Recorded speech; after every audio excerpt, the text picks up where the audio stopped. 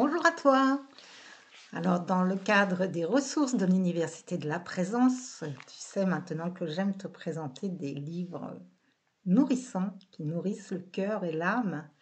Eh bien, aujourd'hui, je reviens vers, on va dire, une valeur sûre et bien connue qui est Eckhart Tolle. Mais j'ai choisi le livre Quiétude et non pas le pouvoir du moment présent et Quiétude, c'est un livre qui est moins connu, on en parle moins que du pouvoir du moment présent. Et pour ma part, c'est celui que je préfère. Dans le pouvoir du moment présent, parfois je m'y ennuie un peu. Et puis c'est parfois un peu théorique avec euh, pas forcément des, des pratiques à mettre en œuvre.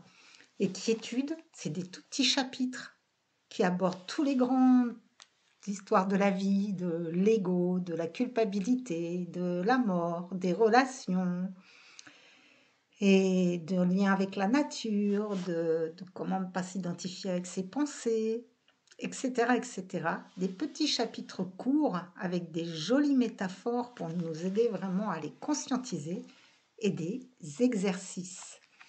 Donc je vais te présenter euh, quelques extraits par exemple, euh, juste, c'est un tout petit, euh, un tout petit chapitre là sur lequel on peut méditer, qui dit le flux de la pensée a une force énorme qui peut aisément vous emporter. Chaque pensée se donne tellement d'importance. Elle veut attirer toute votre attention. Voici une nouvelle pratique spirituelle à votre intention. Ne prenez pas vos pensées trop au sérieux. Alors, un autre petit extrait. Un petit, donc, entretenez-vous des sentiments de culpabilité à propos d'une chose que vous avez faite ou non dans le passé. Une chose est sûre, vous avez agi en fonction de votre conscience, ou plutôt inconscience de l'époque. Une plus grande conscience vous aurait permis d'agir différemment. Donc la culpabilité est un autre exemple des efforts de l'ego en vue de créer une identité, un sentiment de soi. Que ce dernier soit positif ou négatif importe peu à l'ego. Ce que vous avez fait ou non était une manifestation de l'inconscience, l'inconscience humaine. Mais l'ego la personnalise en disant j'ai fait cela, et vous en retenez une mauvaise image mentale de vous.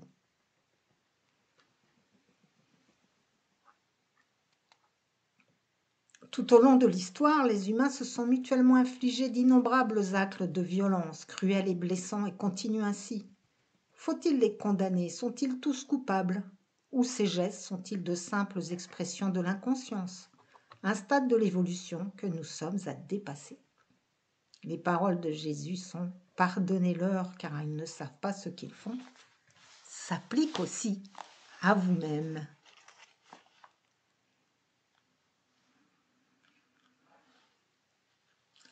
Et je vous donne un, un dernier ou avant-dernier petit extrait.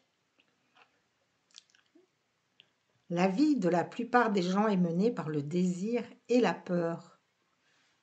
Le désir, c'est le besoin de vous donner quelque chose qui vous permettra d'être davantage vous-même.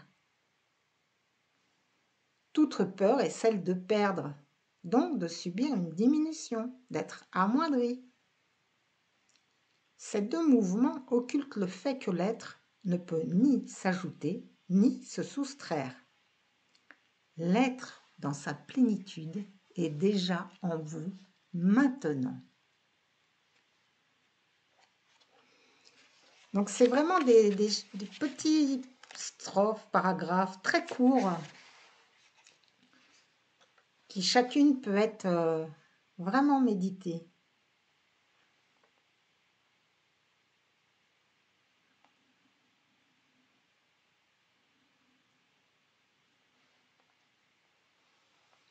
Le fait de donner à une chose l'étiquette de mauvaise provoque en vous une contraction émotionnelle. Lorsque vous la laissez être sans la qualifier, un pouvoir énorme est soudain mis à votre disposition. La contraction vous sépare de ce pouvoir, du pouvoir de la vie même.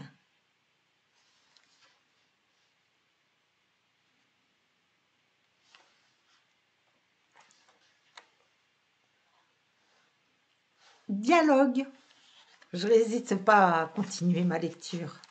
Cette fois, c'est la dernière, je vous le promets. Accepte ce qui est. Je ne peux vraiment pas. Je suis agitée et en colère à ce sujet. Alors, accepte ces sentiments. Accepter d'être impatiente et en colère. De ne pas pouvoir accepter. Oui, mets de l'acceptation dans la non-acceptation. Mets du lâcher-prise dans ta rigidité et puis vois ce qui se produit. Voilà, c'est mon partage du jour euh, pour toi. Et toujours, merci de liker cette vidéo, de la partager si elle t'a fait plaisir, si elle t'a nourri et également de continuer à me partager tes pépites personnelles d'ouvrages inspirants et continuer à enrichir ma propre bibliothèque et ensuite celle des auditeurs de l'Université de la Présence. Merci beaucoup, bon dimanche.